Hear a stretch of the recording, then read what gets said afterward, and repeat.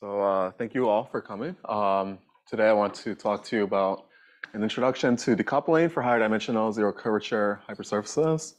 Uh, we'll define what those are um, and get into the initial attempt for tackling this topic.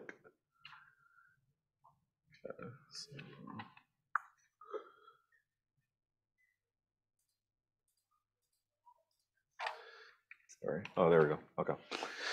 Uh, it wasn't working at first. All right. Uh, here's an outline for the uh, sections of this talk. I want to first provide an introduction to you all. I'm not sure how we are doing with decoupling here, if you all are familiar with that field, but we'll just touch base on sort of the basics of decoupling and move with increasing speed towards the main result. And then we'll discuss the proof in three dimensions and then what begins to look different if you move into four plus dimensions. Okay. This is the notation that will recur throughout this talk. Um, this goes into what time, by the way? What time should I? Okay. So about 4:20. Okay. Uh, right. So we have the usual abbreviation for the complex exponential function. Uh, there will be uh, the usual distinguish, distinction between points in frequency space and time space. Uh, all functions here will be uh, in Schwartz space. So that in particular Fourier inversion applies. Um, now the Fourier projection uh, is a core tool that we need here. You're just taking the Fourier transform of any function f and then restricting the frequency domain to some set s and then transforming back. Phi will be a symbol always used for the moment curve in Rn. I think that should be pretty customary. Now, because we are wanting to look at hypersurfaces uh, primarily, we also need one more definition here. This will be for the statement of the main result. Um, so for this talk, a cap is specified to be a subset S that lies within some sort of like delta uh, translation or translations of some cylinder over the tangent plane that moves at most delta in the the uh, direction of the normal vector. Um, now, this is not the first time that such a definition has occurred in the literature for this um, subset of harmonic analysis. Uh, in work by Jošević, Sawyer, and Seeger on the uh, Bochner-Riesz problem for finite for convex domains of finite line type, they posit such a definition there. Um, and it's because of work that was done by Bruna, um, Nagel, and Wainger uh, for decay estimates for Fourier transforms of such um, of boundaries of such convex finite line type domains. When you take such a measure and you look at the Fourier transform, uh, the bound that they produced was in terms of the inverse of uh, the inverse of the volume of such sets that I have here um, on the right of the set containment. So the decoupling that we will produce will be one that is in terms of caps. The caps uh, that are given here relative to delta will be the elements of our decoupling partition. Um, and this will all recur when we get to the main result. Okay. So now let's discuss what is decoupling. Given some wave f or a function f that we are thinking, uh, conceptualizing as a wave, we may want information about f by studying the composite waves whose frequencies lie within certain regions. So to emphasize that the Fourier support of f is in a set S, uh, we're using the uh, Fourier projection notation here. And then on the frequency side of things, we break up our set S into smaller sets Si. Uh, and this is reflected on the left by a decomposition of our PSF function. Now, if we are only looking at the L2 norm of PSF by Plancherel, we of course have the usual square root cancellation. Uh, and this is exact. You have an exact equality for L2. You may want to extend that to LP for general P. And initially, we would have this inequality deduced by interpolation with the standard L infinity estimate, just the most fundamental one that you could think of that would be true in general circumstances. And this is what was well known uh, for quite some time in the literature. Um, it's now uh, going by the name of trivial decoupling, since decoupling arrived into the scene. Um, in particular, I want to draw your attention to the constant that we have here, which makes this inequality true. You have the number of subsets, capital N, and it's being raised to a certain power, the 1 minus 1 over p minus 1 over r power. And this is actually a sharp inequality in a certain context. Um, and this will be important for the decoupling results that will come up shortly because, in particular, this setting given to you here in bold uh, shows when it shows the limit, a definite limit for when we are not able to do uh, non-trivial decoupling anymore. Uh, in particular, this statement can be worded in terms of uh, a necessity of avoiding lines or neighborhoods of lines. Um, if you get to a point where you are essentially your decoupling of some neighborhood of a manifold begins to look like you're decoupling a neighborhood of a line, then that's when you run into this barrier. So this is why decoupling results so far have all needed some sort of curvature for whatever set you're wanting to partition for decoupling purposes. Any questions before moving on? Okay. Right, so here's the formal definition of LR-LP decoupling. You have uh, the same set S as before, broken up in or partitioned into subsets S1 through S capital N. And now you have the same inequality that I just provided to you on the previous slide, but the exponent here changes. It's no longer 1 minus 1 over p minus 1 over r. It's instead 1 half minus 1 over r. Uh, and you can check uh, quickly that 1 minus 1 over p is larger than 1 half for all p larger than 2. So this is indeed a positive gain. Um, but well, I guess, uh, you know, there's a c here that we did not have before. And the form of c is what makes this inequality decoupling or not. Uh, we want the best such c, which we call the decoupling constant, to satisfy at most some epsilon dependence on n for all positive epsilon. Uh, and so for this talk, uh, I say the relevant values of r will be 2 and p. It'll actually just be 2. So that point, that bullet point was borrowed from another slide where we were uh, okay with having r being equal to p. Okay, so since we want r to be 2 for this talk, again, just to reiterate, proposition 1.1 the so-called trivial decoupling places limitations on L2. In particular, we have to avoid lines.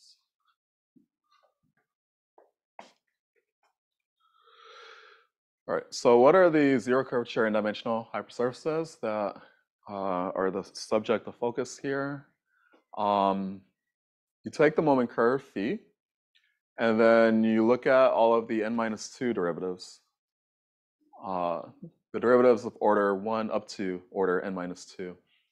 And then for each such derivative, you introduce a new parameter, si, and we extend by si along that derivative vector. And four in five dimensions, um, this parameterization looks as so, uh, which may not seem too insightful, but there's actually interesting algebraic structure here, which makes it possible to decouple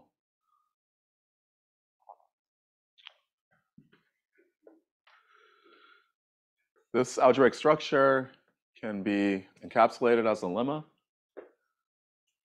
And this lemma makes iterative intermediate decoupling possible. Um, so we have some map which looks oddly familiar to Taylor series um, expansion. Uh, indeed, you are taking the derivatives of phi and then multiplying each such derivative, evaluated at a certain time value or t value, you're multiplying that by the corresponding component of C. Um, now for this given map A, we will take some provided function f and compose the uh, Fourier transform of f with A to define some new function that we're calling FTO, or FTO hat rather, in that uh, setting. And then the following statements are true. You apply A to the parameterization x, uh, the one that I gave you before, So just to refer back, X is the parameterization, uh, mapping T S1 through Sn minus 2 to what's given on the right. Right, so when you apply A to that map, it corresponds to the parameterization with the same S values, but T is now moved by TO. If A is defined according to TO, then you're moving along the param you're moving the parameterization by TO in the T uh, component. In other words, A preserves the moment surface. Uh, and the second bullet point for this lemma tells us that A also preserves the LP norm for functions F. FTO and FP, or sorry, FTO and F have the same LP norm for all P positive. Um, and that's just change of variables combined with the fact that this map A has determinant one. And it's upper triangular. Um, so upper triangular with ones all along the diagonal. All right, so then how this relates to decoupling is that if we have some function f that is Fourier supported in a neighborhood, just a delta neighborhood of a cap, a subset delta, um, in particular, delta maps this Cartesian product of intervals or Cartesian product of an interval with various subsets that we don't really care about per se. Um, the Fourier support of FTO will be the delta neighborhood of this subset, which in particular has t now bounded by the length of the, the previous t interval. And that makes it possible for our decoupling error to be self-improving within certain iterative, iterative schemes.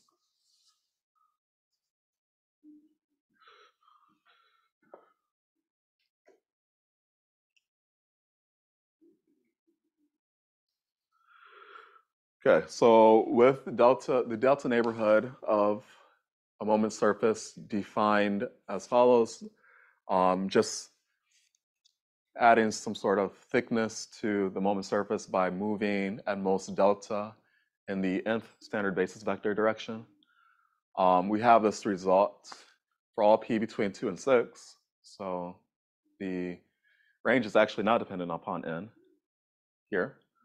Um, and so for all delta positive, there exists a decoupling partition comprised of caps, according to the definition that was given at the beginning of this talk, um, such that we have this honest L2 LP decoupling inequality. Um, there is dependence upon the dimension, the ambient Euclidean dimension, uh, in addition to P, of course, and epsilon. But otherwise, our constant has at most the delta minus epsilon dependence concerning delta. Um, and in fact, this theorem holds more generally for surfaces of a form exactly analogous to our moment surface description, um, but where phi is now extended to be any non-degenerate Cn minus one curve. Um, Cn minus one because you only need that much smoothness in order to approximate this surface by moment surfaces, for which we're able to do things more, more hands-on. Um, and just to also give due credit, um, how we extend, how we obtain that extension of theorem 2.2 for moment surfaces to the more general surfaces is by way of the usual Pramanik-Seeger induction on scales. All right, uh, so let us see how we can build upon our one tool for decoupling, um, ultimately resulting in theorem 2.2, right? So in 2014, John Bourgain and Cyprian Demeter provided the first optimal L2 decoupling theorem. Um, they did this by building upon work of Thomas Wolff, who was the one to actually introduce decoupling, um, proving decoupling results, LP uh, decoupling results for the cone, but in a limited range of P. Uh, Bourgain and Demeter arrived on the scene in 2014 with this theorem that proves decoupling for the paraboloid, the n minus one dimensional paraboloid. Um, what you do in this context, as you break up the domain for your graphing function for the paraboloid, you break up that horizontal plane into subsets that are just basically squares of side length approximately delta to the one half. Um, and then the subsets of the paraboloid that lie above those squares, we're calling those subsets tau. So tau lies in the paraboloid. Um, and then, of course, you have to have some kind of thickness so that there's a non-zero Euclidean value for your subsets. Um, and then we're just projecting f along each or within each such delta neighborhood. Um, and then this honest L2 uh, LP decoupling inequality holds for all f that are Fourier supported in the delta neighborhood of the paraboloid. Um, I forgot to make one correction when going through my slides again. There should also be n dependence. So there should be epsilon p and n for the constant. Um, you can check this in their paper. They make mention of that. Okay, so for our work here, we just need that same theorem only in the two-dimensional setting. We just need the statement of decoupling for the parabola. Uh, and then by the usual um, extension to cylinders, we have uh, a decoupling tool that is fully available for use for our purposes. Um, so you take some paraboloid, some parabola in the CI, CI plus one coordinate plane, and then you just extend it cylindrically for all other components. Um, now the width of the same parabola in the CI, CI plus one coordinate plane, we're allowing that to be at most E, our neighborhood width. And then when we partition the CI axis into intervals I of length e to the one half, uh, this is reflected in this uh, dissection of the uh, parabolic cylinder, um, which is just basically a matter of restricting the parabolic cylinder to the part that lies within I for the CI variable. Uh, and we have this decoupling inequality. So to reiterate, this decoupling inequality comes by way of the Bourgain-Demeter theorem that was just given to you combined with Minkowski's uh, inequality, integral inequality, and Fubini. Yes? Question. Squared, that's also including the variables i plus 2 all the way up to n or is that just the first ones? All right. Um,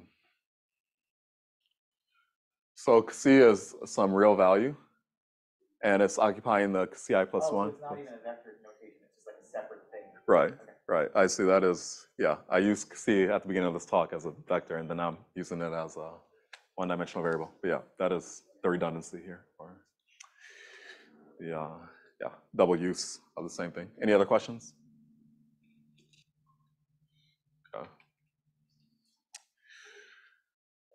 So the following key condition, though, uh, right, so if we, you know, I'm introducing first a, a moment surface, and then I'm moving on to we're moving on to another geometric object, which is these parabolas.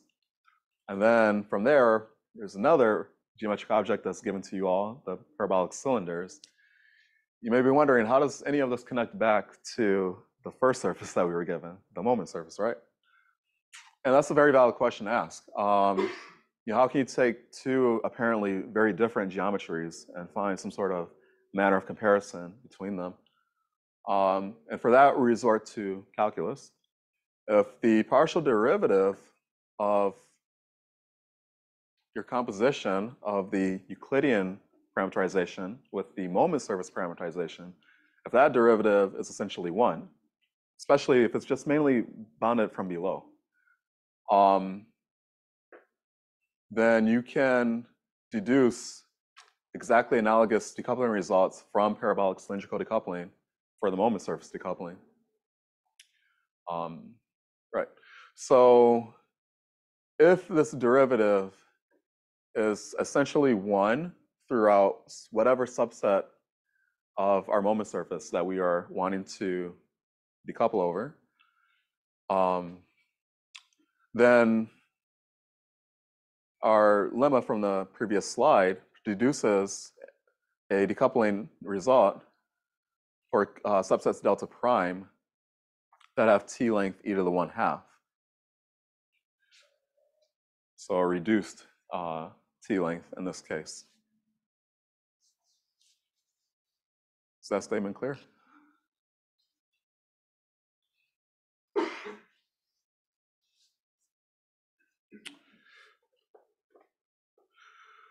Right. So in previous work, we proved this theorem in the case n equals 3. Um, so this was done as one separate paper, and then the n equals 4 and higher case is a second paper that will be soon posted on arXiv. Um, and in that paper, the first one for the n equals 3 setting, uh, this is what our decoupling partition roughly looks like. It's also a picture of what the moment surface looks like in three dimensions. Um, one thing to notice is that, uh, first of all, the moment surface is broken up into sections um, where the caps all look roughly the same in terms of their dimensions. Uh, I mean, one thing that uh, perhaps immediately sort of posed conflict to you all when I gave the moment surface definition is that I had said initially that we wanted to avoid lines when doing L2 decoupling, but then the parameterization that I gave was comprised of lines um, for each t value, right? But what we do here is we merely partition the lines according to dyadic powers. So we break up the lines into line segments of some dyadic power between 0 and 1. Um, and then that's fine because all we're doing uh, is something that partitions into log of 1 over delta many subsets. And that certainly has delta minus epsilon times the epsilon loss. So that's perfectly fine to do. Now, within each such subset where the line segment is some specified uh, dyadic power, uh, the t lengths of your caps, so that can be thought of as the length of your, your caps in the uh, tangent direction, or hmm, that's maybe not the tangent to the moment curve.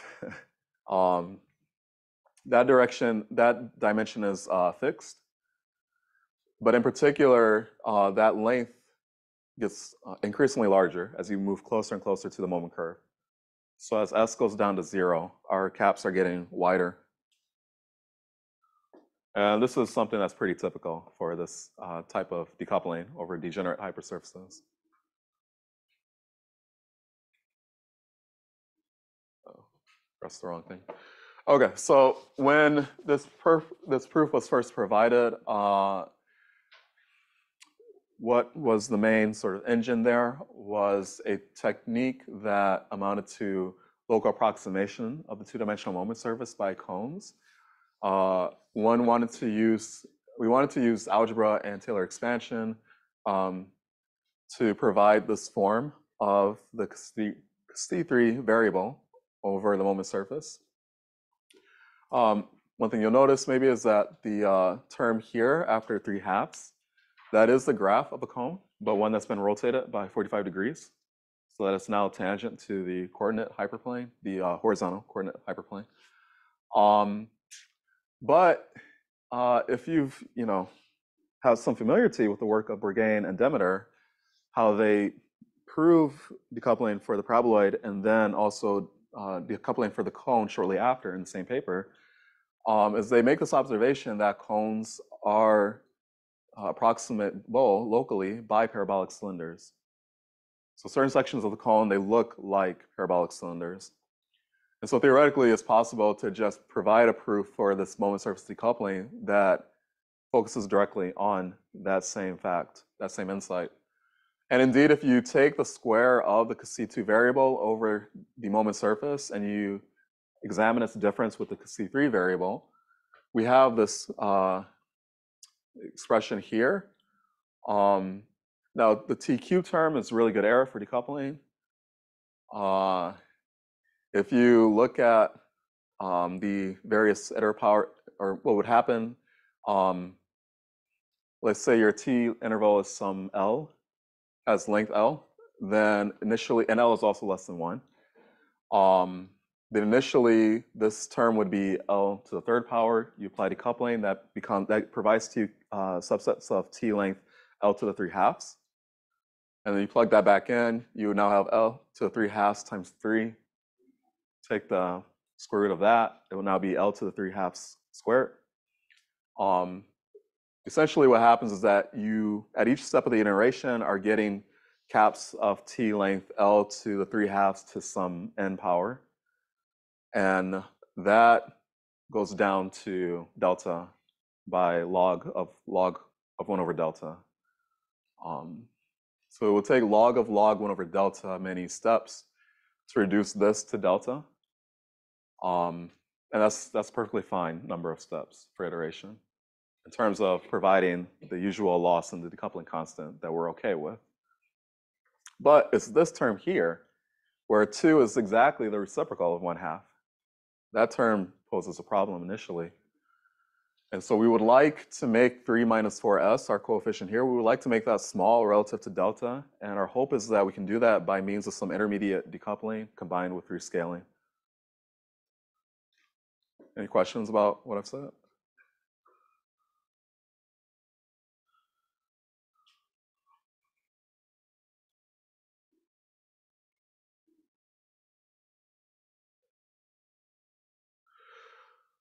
Okay, so as before, we partition our two-dimensional moment surface.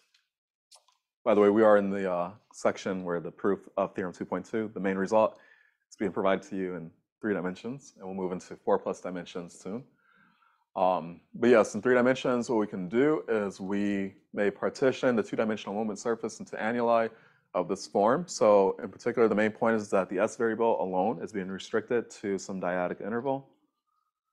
Uh, so in particular, s is essentially 2 to the minus k. Um, and then now this inequality, which is our first step towards decoupling, that is just a simple matter of triangle plus the triangle inequality plus Schroeder. Um, and then from this point forward, it suffices to examine decoupling for each annuli term, annulus term. Uh, now, Looking at the difference of C1 squared with C2 over the moment surface, we have that it is exactly equal to minus S squared, which we know to be essentially 2 to the minus 2k in, in magnitude. Um, and then we can apply our uh, lemma 2.5, our uh, combination of parabolic cylindrical decoupling with the key derivative condition that was mentioned to you um, to, to deduce this decoupling inequality where our subsets delta 1 uh, now have reduced t length of being at most 2 to the minus k, of being exactly 2 to the minus k. By the way, if it's not been clear, uh, what is the main goal for producing our decoupling theorem? Um, is that, again, we can't do more for the S variables than restrict them to some dyadic interval. That's, that's the best way we can do because those S variables correspond to lines. Um, their coordinate curves are lines. But uh, what we can do, what is the, the point, um, is to reduce the length for our t variable. And so we will be uh, preoccupied with reducing that length to the smallest possible value. So initially, uh, or at this point in the procedure, we have 2 to the minus k, uh, but we can do much better than that because that length should actually be some expression involving delta. And delta is not present at the moment for our t length. So we look to further partition our delta 1s that have the length to, uh, to the minus k for t. Um, and then we do something that might seem a bit strange at first. We uh, further partition, we actually do further partition the S interval. Um, but again, just something that is a small step um, so that we're not incurring too much loss in the decoupling constant. So instead of having intervals for S that are uh, to the minus k in length, we restrict so that the length is now to the minus k delta epsilon. That's fine because there will at most be uh, delta to the minus epsilon many subintervals. Um, for each delta one. Um, now the reason why you know we're taking something so specific and this and obtaining uh, the consequent inequality is that we can apply a dilation to um, each new cap delta 2 that was obtained. so that the image of that dilation on delta 2 will be a new subset delta prime, still contained in the moment surface, having bounded t length. So our rescaling doesn't blow up t, which is a very crucial requirement. Um, the neighborhood length will be enlarged to some delta prime. That doesn't matter because um, basically because of properties of affine invariance for the Fourier transform. Uh, that doesn't matter. Uh, just you need to keep track of what delta prime is, and then when you work things back to your original setting, um, whatever you got for the delta prime case, the corresponding value in the original setting will be what you expected.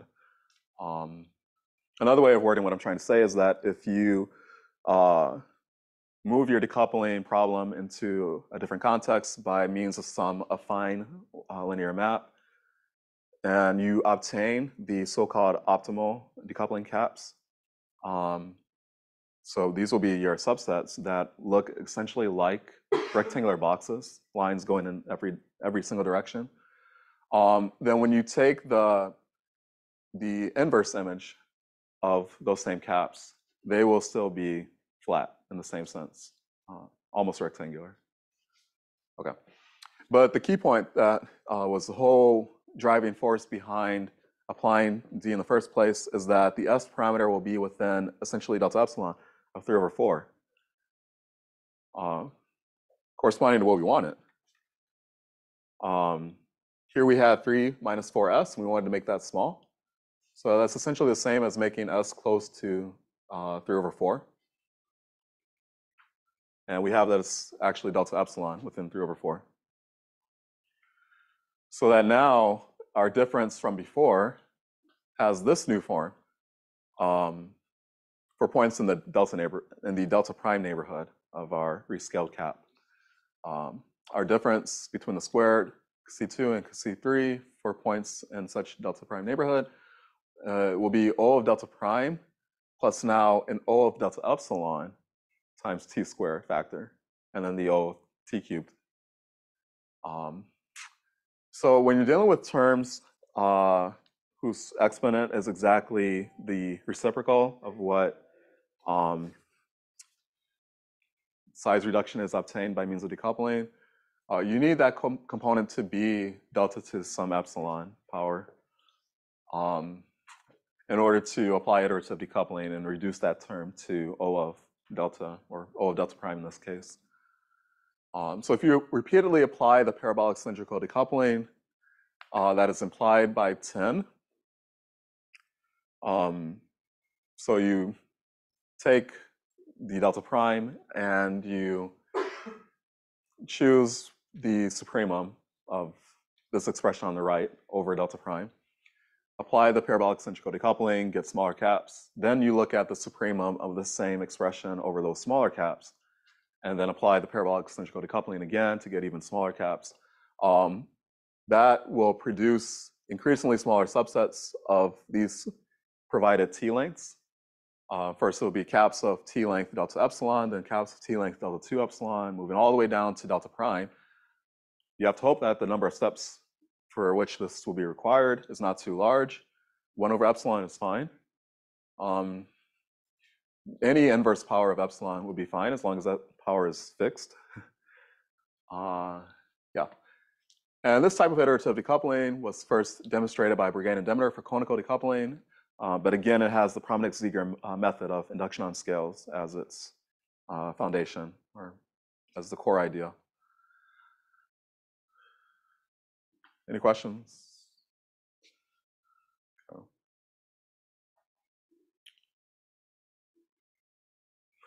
All right, but now if we want to take the same methodology and extend it into the higher dimensional setting, uh, just even at the first step, we run into something new an additional degree of complexity. So we can do, uh, right, so if we look at the C3 minus C2 squared expression for the three-dimensional moment surface, we have a new term. Um, this 4 minus S2 squared is also new, I guess, but that actually will be the target T length for the procedure that is uh, necessary in this setting. So that, that's fine. That's what we want, actually. It just takes the place of delta from before. Um, what is problematic initially is this t term, because not only is that not t squared, um, it's an exponent uh, smaller than 2. But we are saved by the fact that the coefficient on the t term is our target t length, S2. So it's just a matter of tracing out whether or not we can apply the same sort of iteration with t, though, uh, being the new point of focus. And indeed, if we apply parabolic cylindrical decoupling as before, we have a similar pattern, or we have a pattern in the exponents for our successive t lengths. Um, it's just the partial sums of the geometric series with ratio 1 half. Uh, and we know that that converges to 1 when the starting value is 1 half. So, you know, it'll take infinitely many steps to actually get to 1. We can't do that for obvious reasons. But what we can do is get within epsilon of 1. Um, and that will occur in log of 1 over epsilon many steps, which is, again, perfectly fine, perfectly okay number of steps. Um, and then once we get to caps of, of t length s2 to the 1 minus epsilon, we want those lengths to be s2, but we can just apply the usual triangle inequality combined with Holder to reduce from s2 1 minus epsilon to s2 to the 1 power.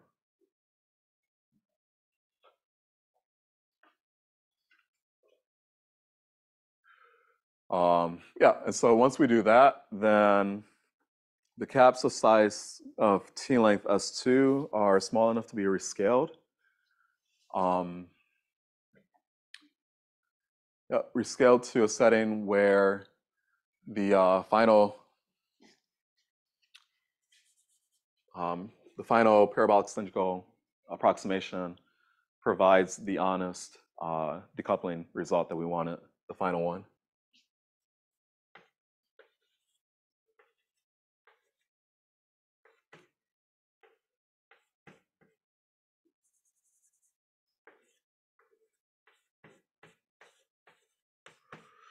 Right, so this difference is um,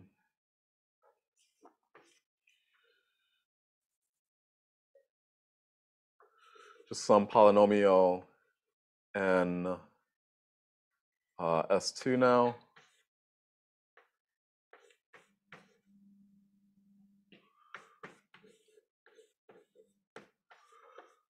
Plus terms that are all at least uh, power 3, exponent 3.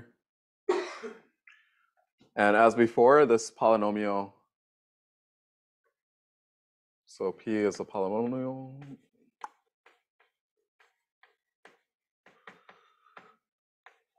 Quadratic polynomial. And this can be made small.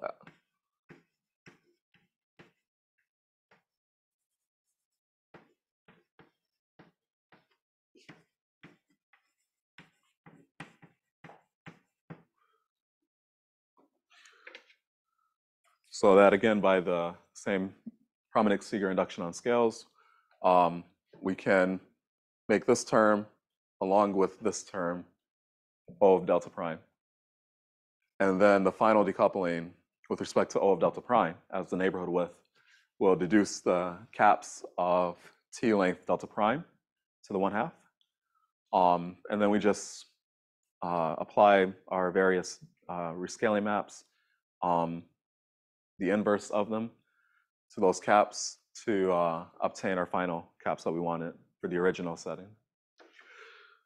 Okay, that is my talk. Thank you.